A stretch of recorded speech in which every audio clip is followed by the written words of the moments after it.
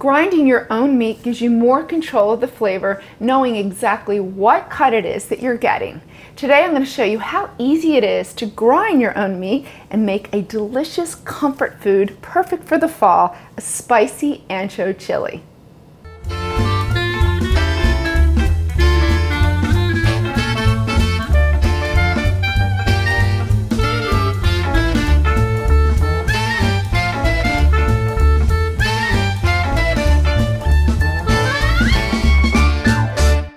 Hey guys, I'm Shereen Cook This. First to get started, so I have my beef, which happens to be steak. So this isn't just any old regular chili.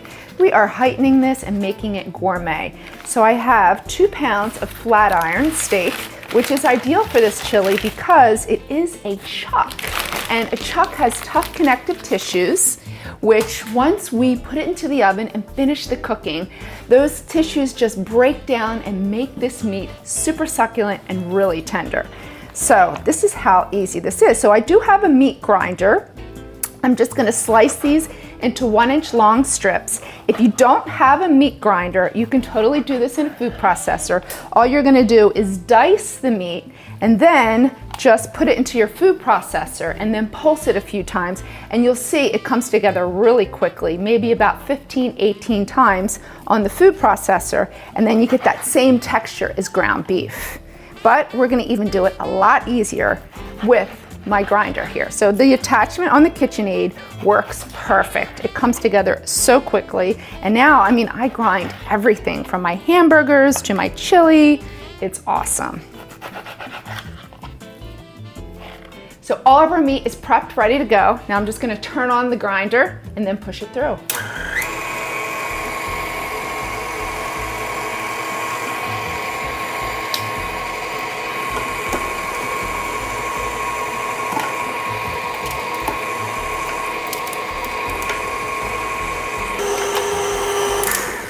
How easy was that, right? Now we have our own ground steak, not even ground beef, ground steak. So I'm just gonna clean up my mixer and now we're just gonna prep the onions and garlic.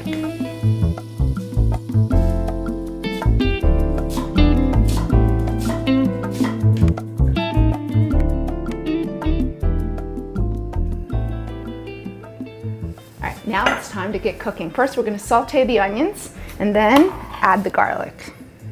So this is all about working in layers and stages and seasoning along the way. It builds the perfect, delicious tasting chili.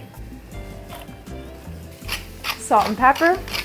Again, layering seasoning through each stage.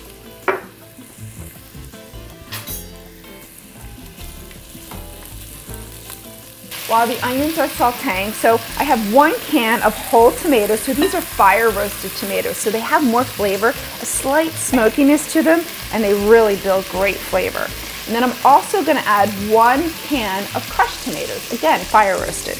But I like the texture of the whole tomatoes. But you just wanna take your hands, get in there, nice clean hands, best tools in the kitchen, get in there and just crush up the tomatoes. So it gives it a nice rustic feel and I just love that texture in there.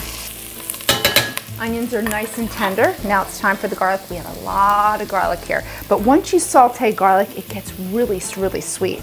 So we have about six cloves. So it needs about 30 seconds to about a minute. Once you smell your garlic, you know it's released all of its flavor. You won't have a harsh garlic flavor. You'll just have this beautiful flavor.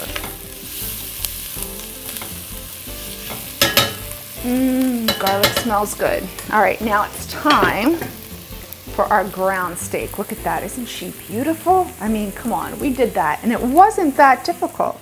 So you just wanna add the beef or the steak and now we're just gonna let it saute, increase our heat to high. We want a good browning. We do have a lot of meat in here. It can tend to steam.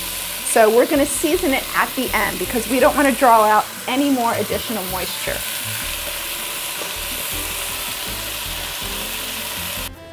All right, so I drained off some of that liquid. That way, that way we can get a good browning on our beef or on our steak. I can't call it beef, right? We got some steak in here. All right, it is looking good. It smells great. Now it's time to season it with salt and pepper. So the reason why we waited and I didn't season it with salt from the start is because it would really pull out a lot more moisture. So I was just trying to control that a bit. So salt, freshly ground black pepper, and our spices. So we have quite a few spices. I have a lot of spices. So where the ancho chili is coming in, I have a good bit of ground ancho chili, some cumin, paprika, and chili powder. And then for our little heat, so I have sneak heat from Cayenne. I call it sneak heat because it's that back heat. It kind of hits you in the back of your tongue and then some red pepper flakes. So the ancho chili isn't really all that spicy. It just gives a great, great flavor, but we get that spice from the red pepper flakes and from the cayenne. So now we just want to toast this, evenly coat all of our steak, our ground steak. Make sure it gets nice and toasted, releases all the flavor. And then we're gonna add our beans and our tomatoes. Mmm, smells so good. So I have two cans of little, they're actually the smaller red beans. I drain them, rinse them, right into the pot they go. I have our one can of crushed tomatoes. So these are the fire roasted tomatoes. And our whole tomatoes that we crushed with our hands earlier. In they go. Clean up my area. Now we just want to give it a stir, season it with salt and pepper, bring it to a boil, and then we're going to put a lid on it.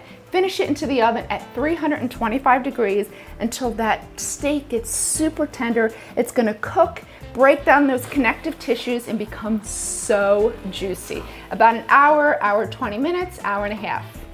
So she comes to a boil really quickly. We're going to cut the heat, put a lid on it, and into the oven she goes. Our spicy ancho chili is ready. It's been about an hour and 20 minutes in the oven. Look at that. Yum, looks beautiful. This is great on a Sunday. This is really great on Halloween night. So think about it. It's your one pot awesome comfort dish. Make this ahead earlier, and then that way on Halloween night when you're out with your kids or you have that rotating door constantly of people coming in and out, this is a great dish to just have on the stove and let everybody help themselves. So we gotta give it a taste. So I like to dress mine, or this one, actually a little more simpler. Simpler, is that a word? a little more simply. So we have some freshly squeezed lime, cilantro. I love cilantro. You could really dress it any way you like. You could add some cheese, little sour cream. I like to keep this one rather simple. After all, the steak is the star.